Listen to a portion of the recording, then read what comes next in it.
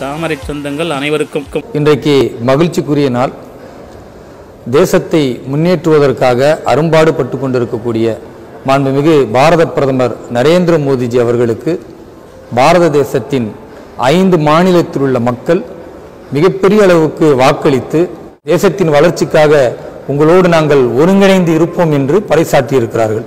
பாரத பிரதமர் நரேந்திர மோடிஜி அவர்கள் இந்த தேசத்தை முன்னிறுத்தி தேசத்தின் வளர்ச்சிக்காக அவர்கள் கொண்டு வந்த அந்த திட்டங்களுக்கு கிடைத்த வெற்றி. இது மக்களின் வெற்றி. பாரத பிரதமர் நரேந்திர மோடிஜி அவர்களுடைய ஆட்சி வந்த பொழுது இது ஒரு மதவாத ஆட்சியாக இருக்கும். இது சிறுபான்மை மக்களுக்கு எதிரான ஆட்சியாக இருக்கும்.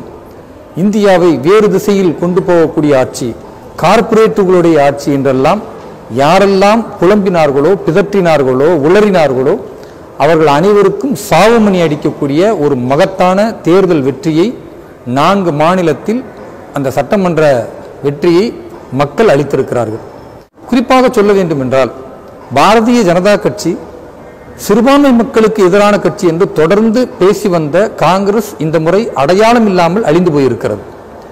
தான் சொந்த இடம் என்று எதை நினைத்துக் கொண்டிருந்தார்களோ அந்த பஞ்சாப் மாநிலத்திலேயே அவர்கள் காணாமல் போயிருக்கிறார்கள். மற்ற நான்கு மாநிலங்களில் காங்கிரஸ் சுத்தமாகவே பூஜ்ஜியமாகக்கூடிய ஒரு நிலை. ஆண்டு இருந்த அவர்கள் அத்தனை பேர்களும் அடையாளம் இல்லாமல் காணா போயிருக்கிறார்கள்.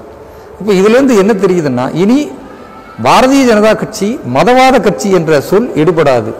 குறிப்பாக சொல்ல வேண்டுமென்றால் பாரத பிரதமர் நரேந்திர மோடிஜி அவர்கள் சிறுபான்மை பெரும்பான்மை என்ற வித்தியாசம் பார்க்காமல் அனைத்து மக்களையும் பாரத தாயின் பிள்ளைகளாக பார்க்கிறார். அது இன்றைக்கு இஸ்லாமிய மக்கள் மத்தியில் மிக எழுச்சியோடு கிறிஸ்துவ மக்கள் மத்தியில் மிக எழுச்சியோடு பிரதமரை கொண்டாடக்கூடிய ஒரு நிலை ஏற்பட்டிருக்கிறது. குறிப்பாக சொல்ல வேண்டுமென்றால் மணிப்பூர் சட்டமன்ற அந்த தேர்தலில் பாரதிய ஜனதா கட்சி அறுதி பெரும்பான்மை பெற்றிருக்கிறது. மணிப்பூர் மாநிலம் என்பது ஐம்பத்தி இரண்டு சதவிகிதம் சிறுபான்மை மக்கள் வசிக்கக்கூடிய ஒரு மாநிலம்.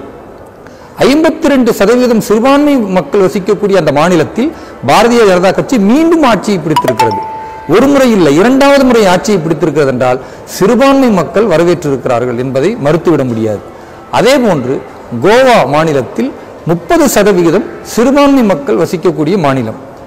அங்கும் மீண்டும் முன்பை விட அதிகமான இடங்களை பிடித்து ஒரு